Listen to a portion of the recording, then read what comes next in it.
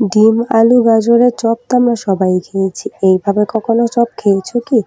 আমি গ্যারান্টি দিচ্ছি, আশা করি এমনভাবে চপ তোমরা কখনোই খাওনি। কিন্তু এই চপটা যদি তোমরা একবার খাও, তাহলে তোমাদের বারবার খেতে ইচ্ছে করবে। আসসালামু আলাইকুম বন্ধুরা, কেমন আছো তোমরা সবাই? আশা করি ভীষণ ভালো আছো, সুস্থ আছো। তো এখানে আমি একটা পেঁয়াজ কুচি করে নিয়েছি নিয়েছি ধনে পাতা, কাঁচামরিচ এবং আলু সিদ্ধ করে নিয়েছি, গাজর সিদ্ধ করে নিয়েছি এবং একটা ডিম সেদ্ধ করে নিয়েছি। প্রথম এগুলো খুব ভালো করে সেদ্ধ করে নিতে হবে, তারপর হাতের সাহায্যে খুব সুন্দর করে ম্যাশ করে নিতে হবে।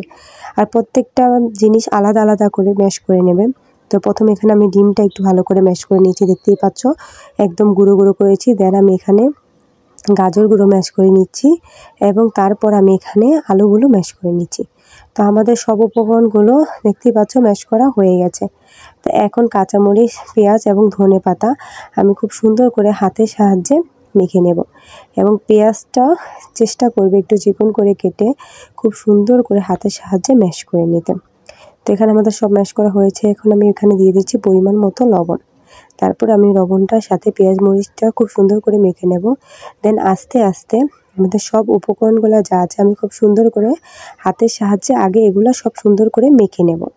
তারপর আমি এখানে কিছুটা কর্নফ্লাওয়ার অ্যাড করে নিচ্ছি। তোমরা চাইলে এখানে ময়দাও অ্যাড করতে পারো।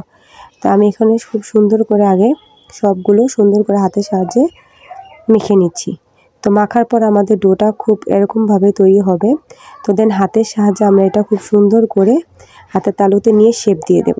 চপের মতো শেপ দিয়ে দেবো। তোমরা যদি চাও অন্যরকম শেপও দিতে পারো বাট আমার কাছে এই শেপটা খুব বেশি ভালো লাগে। পরিমাণ মতো তেল আমি আগেই গরম করে রেখেছিলাম প্যানে। এখন আস্তে আস্তে আমি সবগুলো চপ এই তেলের ভিতরে দিয়ে দেবো। তোমরা যদি চাও এটা ডুবো তেলেও ভেজে নিতে পারো। বা ডুবো তেলে থেকে এমন অল্প তেলে ভেজে নিলে এটা খেতে বেশি ভালো হবে। তো এক সাইড আমাদের ভাজা হয়ে গেছে। দেখেন, এখন আমি উল্টে দেব এবং অপর সাইড খুব সুন্দর করে ভেজে নেব। তো দেখতেই পাচ্ছ, এক সাইড আমাদের খুব ক্রিস্পি ক্রিস্পি লাল লাল করে ব্রাউন কালার হয়ে খুব সুন্দর করে ভাজা হয়ে গেছে। এখন আমি উপর সাইড উল্টে দেবো এবং অপর সাইডও খুব সুন্দর করে ভেজে নেব এবং একটা একটা করে প্লেটে তুলে নেব। আমি জানি না কার কি, কার কেমন লাগে বাট বিকাল হলে আমার মনটা খুবই বেশি খাই খাই করে। বাট রোজ রোজ তো আর বাইরের খাবার খাওয়া যেতে পারে না, তাই আমি চেষ্টা করি তোমাদের কাছে কিছু নতুন নতুন নিয়ে আসা আমারও খাওয়া হলো আর তোমাদেরও কিছু নতুন কিছু ট্রাই করা হলো। যদি আমার ভিডিওগুলো তোমাদের কাছে ভালো লেগে থাকে, অবশ্যই কিন্তু আমার চ্যানেলটা সাবস্ক্রাইব করে দেবে আর একটা কমেন্ট করে প্লিজ জানিও যে তোমাদের কেমন লাগে। অ্যান্ড এই রেসিপিগুলো তোমরা অবশ্যই বাসায় ট্রাই করবে।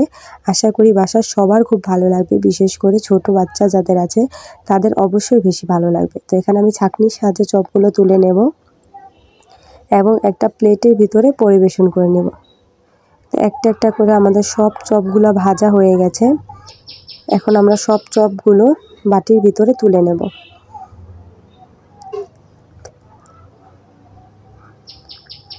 তো দেখতেই পাচ্ছ চপগুলো কতটা সুন্দর, মুচমুচে এবং লোভনীয় লাগতেছে। তো টমেটো সসের সাথে খেতে জাস্ট জমে যাবে। আজকের মতো বিদায় নিচ্ছি বন্ধুরা, দেখা হবে নেক্সট ব্লগে আল্লাহ হাফেজ।